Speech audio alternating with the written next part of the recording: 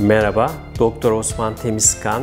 Size klinik iyilik güzellikten sesleniyorum. Sizlere hidrosalpenks'i anlatacağım. Hidrosalpenks tüplerde yani uterusla yumurta arasında bağlantı kuran tüpte tıkanmaya bağlı olarak bir genişleme ve sıvı birikmesidir. Hidrosalpenks önemli.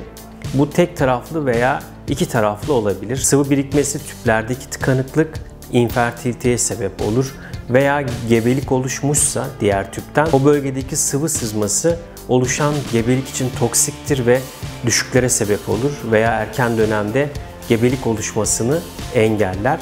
O nedenle mutlaka tedavi edilmesi gerekiyor. Gebe kalamayan hastalarımız e, tanı konularak tedavi planını çıkartmamız gerekiyor. Hastalarımız bize nasıl geliyor? Genelde sulu, kirli, vajinal akıntı veya tekrarlayan vajinal infeksiyonlar ilişki sırasında ağrı e, veya gebe kalamama nedeniyle geliyor.